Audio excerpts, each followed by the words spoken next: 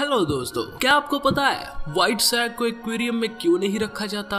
वैसे तो आपने बहुत सारे एक्वेरियम देखे होंगे, जहाँ आप बहुत सारे खतरनाक मछलियों को भी देखे होंगे। लेकिन हमें ये विश्वास है कि आपने कभी व्हाइट सैक को किसी भी एक्वेरियम में नहीं देखा होगा। शायद आप ये सोच रहे होंगे कि ग्रेट व्हाइट सैक दुनिया की सबसे खतरनाक मछली है, जो की एक्वेरियम में रह रहे सभी छोटी मछलियों को खा जाएगी और एक्वेरियम में देखने आए लोगों को भी नुकसान पहुँचा सकती है।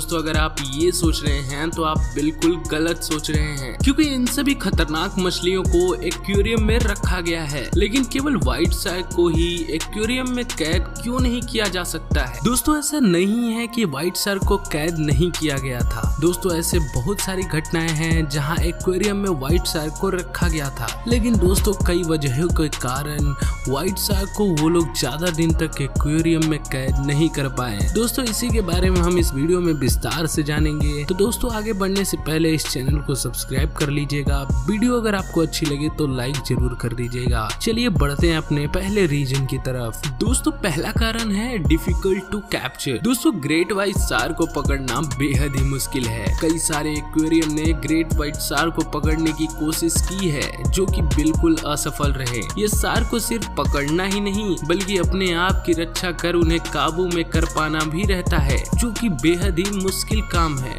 दोस्तों, इसे पकड़ा नहीं जा सकता। इसलिए नहीं कि ये बहुत ही विशाल है, बल्कि इसलिए क्योंकि ये बहुत ही भयानक और खतरनाक भी है। ऐसा नहीं है कि कोई शार्क आज तक कब्जे में ना किया गया हो। 1955 के तहत शार्क को कब्जे में भी किया गया है। ये शार्क पकड़े जाने के बाद भी एक्वेरियम में सरवाइव नहीं कर सकती है। हालाँकि इसका पहला कारण इसका विशाल शरीर है। ये लगभग 70 साल पहले चीज़ बनाने के लिए कैद की गई थी। आश्चर्यजनक कर देने वाली बात तो ये है कि इतनी कोशिश करने के बावजूद भी, ये व्हाइट शार्क सबसे बड़ी शार्क में से नहीं थी। इस शार्क को कैद में सिर्फ़ एक दिन के लिए रखा गया था। तत्पश्चात इसको वापस मुक्त कर दिया गया। दोस्तों, इसके बाद जो दूसरी दिक्कत आती है, वो है difficult to transport great white shark की साइज़ 20 फीट तक विशाल अपने भारी वज़न के साथ हो सकता है। शार्क को पकड़ पाना उसके भारी वज़न अथवा लंबाई के साथ बेहद ही मुश्किल होता है। इसके साथ ही ग्रेट व्हाइट शार्क को पकड़ना और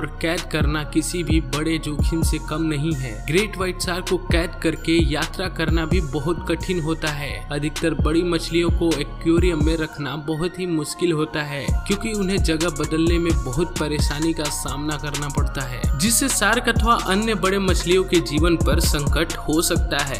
दोस्तों, इसके बाद जो तीसरा कारण है लैक ऑफ़ रिसोर्सेस एक्वेरियम में घूम रहे या रहने वाले जानवर उसकी सुविधा से संतुष्ट नहीं हो पाते हैं। उन्हें एक्वेरियम पूरी तरह से अपना समुद्र जैसा प्रतीत नहीं होता है। एक्वेरियम जो कि मानव द्वारा निर्मित किया गया होता है, जिसमें कई रिसोर्सेज की कमी भी होती है। एक्वेरियम को बेहतरीन बनाने के बावजूद भी वैज्ञानिकों का कहना है कि द ग्रेट व्हाइट शार्क को पकड़ने के लिए हमें उन्हें पहले कुछ महत्वपूर्ण व्यवस्था देनी होगी। पहला खुला वातावरण वाटर पैनल टैंक जिसमें वो आमतौर पर रह सके, जो कि हमारे बनाए गए एक्वेरियम में संभव नहीं है जिसके कारण सार की हालत बेहद गंभीर हो जाती है और कोई एक्वेरियम काम नहीं आता है। यहाँ तक कि छोटे से सार के लिए भी एक बेहतरीन टैंक मौजूद होना चाहिए, जिसमें उसे सांस लेने की सारी प्रक्रिया का एहसास हो सके। बड़ा सा टैंक हो जो 10 फीट से अत्यधिक गहरा हो और बेहद लंबा हो, जिसमें 15 मिलियन लीटर पानी मौजूद हो, जिसमें सार को रखा जा सके। जैसा कि आप इस तस्वीर में देख सकते हैं, एक व्हाइट सार को रखना बेहद ही मुश्किल है जिसके लिए कई सारे एक्वेरियमों ने भारी मात्रा में पैसे खर्च कर चुके हैं, जिसका कोई भी लाभ अब तक नहीं हुआ है। दोस्तों, जो अगली दिक्कत है, वो ये है कि गेट इंजर्ड ड्यूरिंग कैप्चर जैसा कि हम सभी जानते हैं कि द ग्रेट व्हाइट शार्क बेहद ही खतरनाक और विशाल होते हैं। अगर हम उन्हें संभवतः पकड़ने की कोशिश करें तो व्हाइट शार्क को बिना किसी प्रकार के चोट दिए हम उन्हें नहीं पकड़ सकते हैं, और ना ही किसी भी स्थान पर उन्हें कैद कर सकते हैं। चोट लगने के कारण सार्क अंदर से कमज़ोर और टूट जाती हैं। जिससे उन्हें कई परेशानियों का सामना करना पड़ता है। द ग्रेट व्हाइट शार्क स्वाभाविक रूप से रवाना विदेश जानवर होते हैं। इसका मतलब ये है कि वे हमेशा तैरना पसंद करते हैं और रास्ता ढूंढते रहते हैं। इसलिए ग्रेट व्हाइट शार्क को कई बार टैंक से टकराते और तोड़ने की कोशिश करते हुए देखा गया है। यही करने के कारण शार्क टैंक से टकरा कर कमज़ोर हो जाते हैं और एक्वेरियम में ही मर जाते हैं। इसलिए शार्क पकड़े जाने के बावजूद भी कुछ ही दिनों में मर जाते हैं। दोस्तों, जो पांचवा कारण है, वो ये है कि the great white shark don't like being in captivity जी हाँ दोस्तों शार्क स्वयं को कैद में देखना पसंद नहीं करती है। शार्क जैसे खुद को बड़े से समुद्र में आज़ाद और अपनापन महसूस करती है, वैसा वो एक्वेरियम में नहीं कर पाती है, जिससे द ग्रेट व्हाइट शार्क बेहद गुस्से में और घुटन महसूस करने लगती है और बाहर जाने का रास्ता ढूंढती है। दोस्तों, जैसा कि हम सभी जानते हैं कि अगर शार्क कोसों दूर से खून की बूंद को भी सूंघ ले तो वह तेज़ी के साथ इंसान के पास पहुँच जाती है। वैज्ञानिकों का मानना है कि सार खुद को ज़्यादा देर तक कैद में रखने पर घुटन महसूस करती है और अपने आप को बार बार कांच से टकराती है, जिसके कारण उनकी मौत हो जाती है। दोस्तों, केवल सार को कैद में पकड़कर रखना ही सिर्फ़ नहीं है, बल्कि उसका स्वस्थ रहना भी है, जो कि इस तरह नामुमकिन है। ये शायद एक बड़ा कारण है कि द ग्रेट व्हाइट सार को कैद में नहीं रखा जा सकता। दोस्तों, जो छठा कारण है वो है dangerous to other and them अगर ग्रेट व्हाइट सार को एक्वेरियम में रखा जाए तो ये दूसरे जल के जीवों के लिए खतरा होते हैं।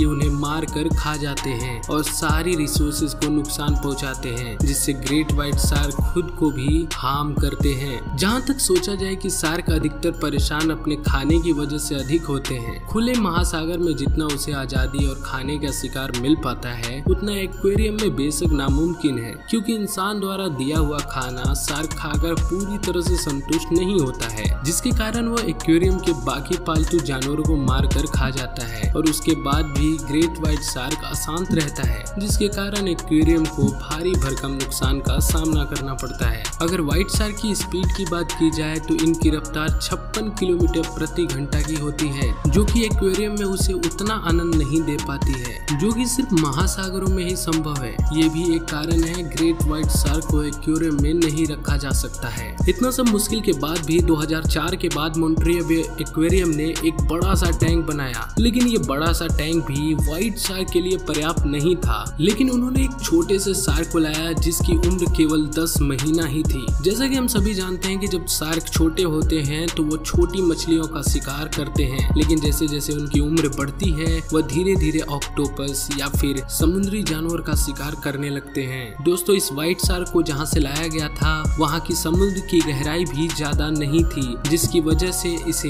एक्वेरियम में रहने में ज़्यादा कठिनाई का सामना न करना पड़े। दोस्तों, उसे एक्वेरियम लाने से पहले उस जगह को घेर कर कुछ महीनों तक उसे उसी समुद्र में रखा गया था, ताकि वो इस माहौल में पूरी तरह से ढल सके। दोस्तों, पूरी तैयारी के बाद उसे जब एक्वेरियम लाया गया तो वह सौभाग्य से छह महीने तक एक्वेरियम में रहा। लेकिन दोस्तों, समय के साथ धीरे धीरे वो आक्रामक होता गया, जिसकी वजह से उसे फिर से उसी समुद्र में छोड़ना पड़। गया। लेकिन दोस्तों, सबसे हैरान कर देने वाली बात तो ये थी कि उसे आज़ाद करने के बाद भी वैज्ञानिकों को ट्रैकिंग डिवाइस की मदद से ये पता चला कि वह कुछ ही दिनों बाद समुद्र में ही मर चुका है। तो दोस्तों, अब आपको समझ में आ ही चुका होगा कि द ग्रेट व्हाइट शार्क को समुद्र की जगह एक्वेरियम में क्यों नहीं रखा जाता। दोस्तों, हम आशा करते हैं कि हमारे द्वारा दी गई जानकारी आपको पसंद आई होगी। अगर आपको हमारी ये वीडियो पसंद आया है तो प्लीज़ इस वीडियो को लाइक करें। हम लाइक एम करते हैं एक हज़ार की। उम्मीद है आप पूरा कर देंगे। तो चलिए मिलते हैं अगले वीडियो में ऐसे ही अनोखी वीडियो के साथ। तब तक के लिए जय हिंद, वंदे